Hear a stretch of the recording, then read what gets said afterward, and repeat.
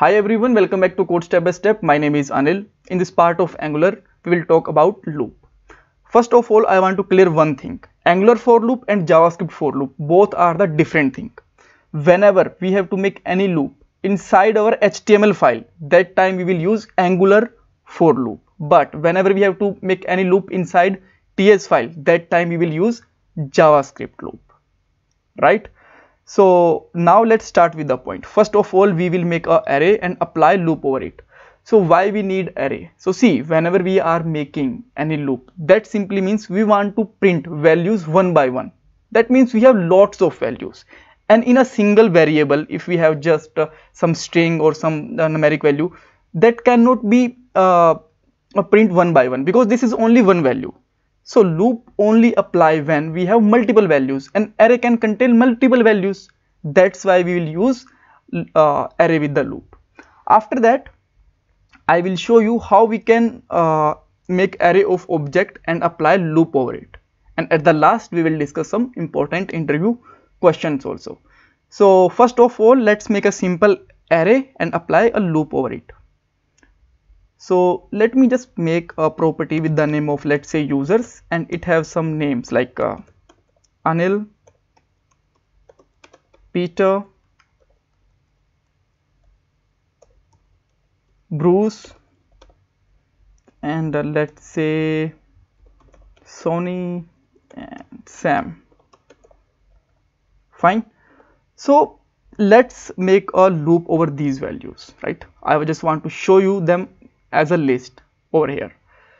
So first of all let's take any html element. So i'm taking here h3 and just simply use here star ng capital f for 4 and just simply take a let data of our property which have the array. So users. Users right? You can take any value here. It like you can take item i whatever you want. This is simple a let value. Or you can say that this is just simple a variable. So now and that simply one more thing. It will just get a single value from users and print it. How it will print? I will show you.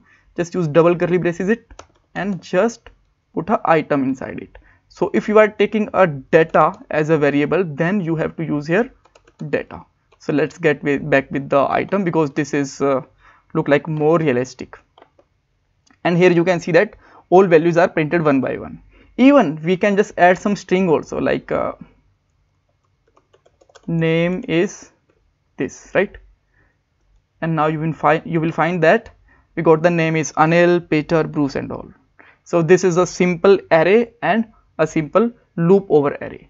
So now let's say every user have some details so I am just going to make one more loop over it so first of all let's define uh, array of objects. So we have a user details.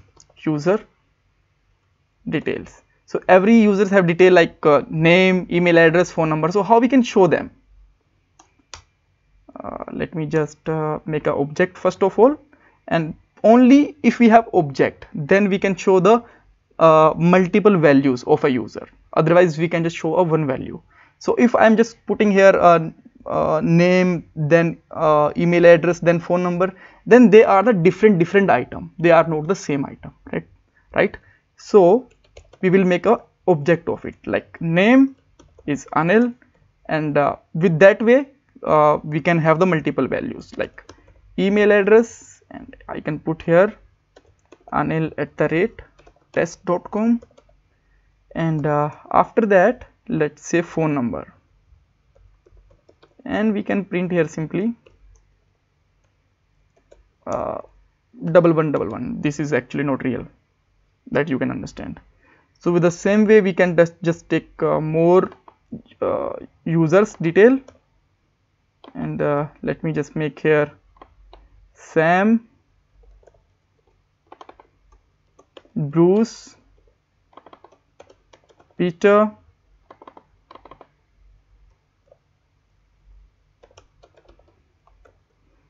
so and uh, now we can just put here phone number some random phone numbers and all like this right? So now I want to make a loop over these values. So how I can make? So let's try with the same way. I am just making another loop just uh, uh, behind it.